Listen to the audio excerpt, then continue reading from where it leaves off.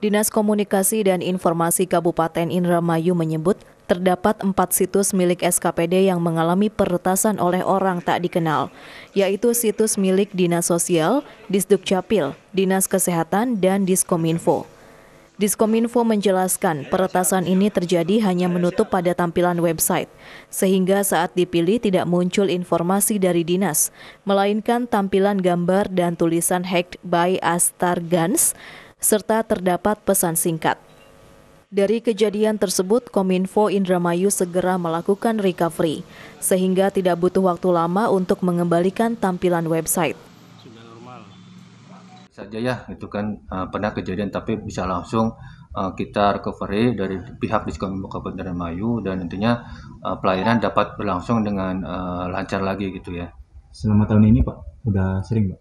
Ya ada dua atau tiga kali lah gitu kan ya Nah, pernah kalau kejadian. Alamatnya sama nggak Pak?